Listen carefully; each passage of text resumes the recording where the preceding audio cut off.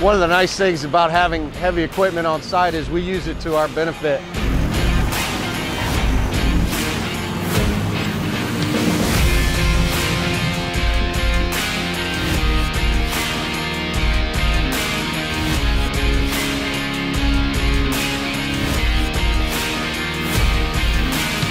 So here we are back at the, uh, what I call the fun zone. As we build up the grotto, we're adding the magic into it, where we create that natural looking waterfall. Here building it out, we've got Old Man, we've got English Craig, and we've got Woman.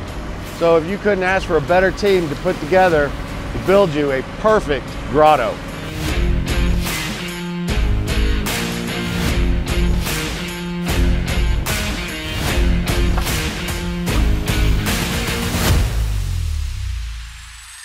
Watch out, Dave! Oh! so here we are with uh, what we, who we call English Craig. Not South African, not Australian, English Craig. That's the one. Oh, Crazy Craig, as I like to go by. Ring ding diddle diddle daddy-o, ring da diddle di-o, he stumbled off into the grass to sleep beside the street. Ring bing dalio. yeah, and I've not even been here most of the week, and usually I'm like the motivator. I'm like the, the funny one to keep everyone laughing. So they've done well without me.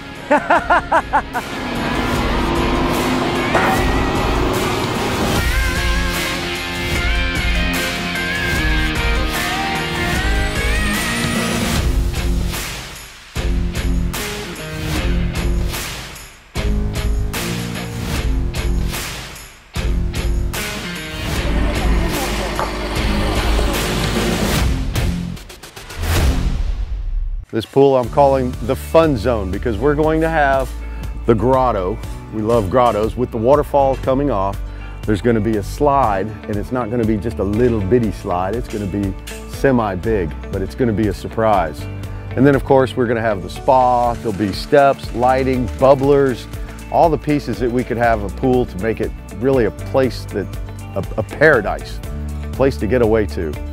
I think the very fact that we're actually building a pool like this for our family is pretty a big deal. I mean, we never ever imagined that we would be able to build something like this. I mean, Daniel comes from Poland, you know, very poor family, and I grew up very humble too. So the fact that we're able to give this to our children and our family and friends, it, it's a really big deal to us. Uh, we can wait to host uh, parties. Hopefully encourage our family members to move down here Oh too. yeah, that's too, yeah, because uh, we by ourselves right now Yeah, over we here. are here all by ourselves and we miss them very much.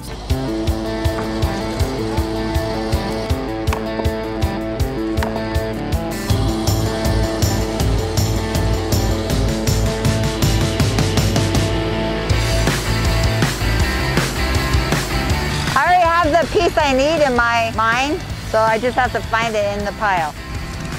Yes. No, I don't want no more. It's time for nappy time.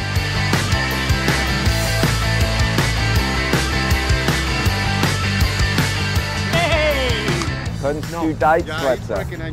I'm speaking Polish, you're speaking German to me. Instead of speaking so many different languages, why don't you all get to work? This younger generation, they don't even know what work is. Uh, the question is, why do we have water in the bottom of the pool? Well, the biggest reason is so that we can wash our health. Because they get really dirty, right? Hey, you want me to dive in now? Yeah, ready? All right, let's go. Set, go. Actually, the real reason, when we get most of the uh, plumbing set for the waterfalls off the grotto, it's really nice to be able to test it, make sure the water is flowing where we want it to flow. So, but we need volume of water to do that. You can't just run it off a hose. You don't get the same effect. So we got to put water in the bottom of the pool for that. Here we are at the fun zone. This is what it's all about in Lucas Lagoons. We're putting the magic in it and we're working on the waterfall portion of the grotto.